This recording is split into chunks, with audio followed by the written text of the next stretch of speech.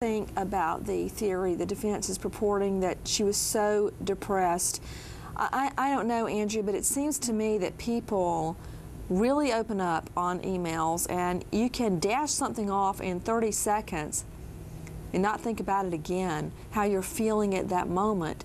And then suddenly, three years later, it's used in a murder trial claiming you were about to commit suicide. Yeah, I think you're right, Nancy. And there's a perception in the public that when people are suicidal, these are long lasting thoughts that they have. And this just isn't true. You'll see with patients, they'll come in on a Friday, they're very, very suicidal. They're, they're not planning on acting on it, but they'll have all those suicidal thoughts. You'll see them on Monday and they're fine. Suicidal thoughts often are very fleeting and many people report having them. So even if there were some emails where she suggested that she was suicidal, it probably wouldn't hold up all these months and years later. So it doesn't make sense to me, Nancy. And a woman as beautiful as her, who just had her teeth done, certainly would not shoot herself in the face. It sort of doesn't make sense with the profile we have of her psychologically. You know, Andrea, with us, Dr. Andrea Macari, clinical psychologist.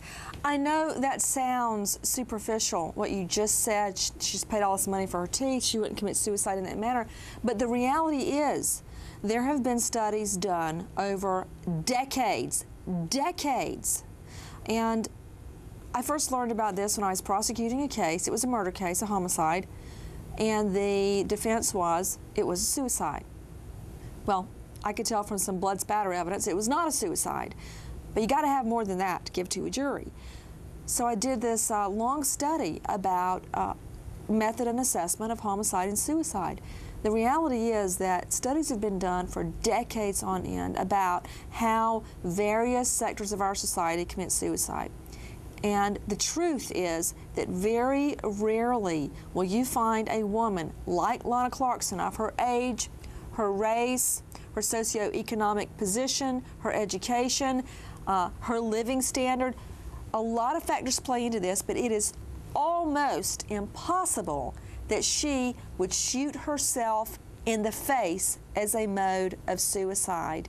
It would be much more probable if she committed suicide to do it by poison, by overdose of some type of a sleeping pill or pill, even jumping out of a window by a gas stove. It's very rare. You will find a woman like Lana Clarkson disfigure herself committing suicide. You're getting an honorary PhD today, Nancy. I'm impressed. Very good. Yeah, and that's why we see so many botched attempts when women commit suicide because the, the methods that you mentioned only are about 13 to 16% successful. Well, if you use a gun, that's 100% successful. This is why we see very high rates of successful suicide attempts with men and a lot of unsuccessful attempts with women. And another thing that's interesting, we're talking about the pocketbook oh, yeah. on her shoulder. Men will totally shoot themselves in the head. Oh, yeah, definitely. And what we see see often people who do use guns is that they have a history of self-injurious behaviors. So they cut themselves or they use other, they have been doing other things to almost practice that lethal attempt. There's no evidence that Lana had done anything like that. So to just out of nowhere inflict such enormous harm and pain would be very unusual. But I do want to say something about the pocketbook. You know, she had the pocketbook on her shoulder. Well, that just doesn't make sense if you're going to kill yourself. And in fact, on on the Golden Gate Bridge, which is actually the leading location where people hmm. in the world commit suicide. Do you know what the security guards do? They look for people who take their pocketbook off as they're walking really? on the Golden Gate Bridge. When they remove their pocketbook, that's actually uh, a predictor that they're about to jump. So I think it's sort of interesting there. Andrea, that is actually fascinating. Right when I think I've, I've heard it all, I hear something like that. It's, it's a stunner really. And that type of anecdotal evidence is very, very powerful in my mind.